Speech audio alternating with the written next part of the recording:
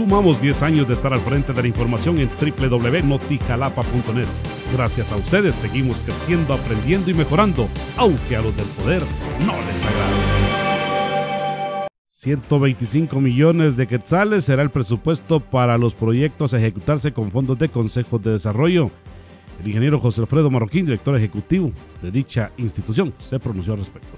Correcto, el Congreso pues eh, ya eh, aprobó el presupuesto para el 2024. Eh, tengo conocimiento ya que en el Plan tenemos municipios que ya están aprobados muchos proyectos, si no estoy mal creo que es el alrededor del 25% de los proyectos para el siguiente año que están aprobados ya en Plan.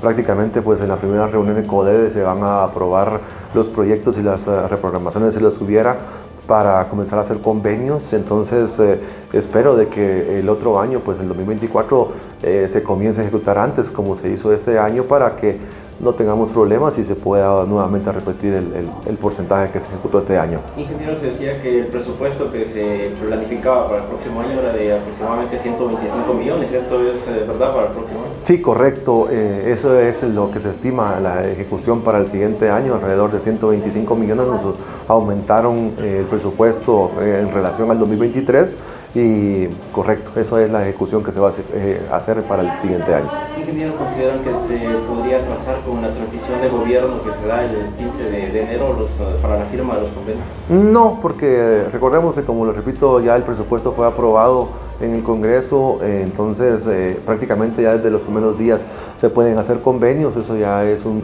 es un presupuesto ya aprobado para consejos de desarrollo que no tendría por qué tener algún tipo de atraso en la ejecución.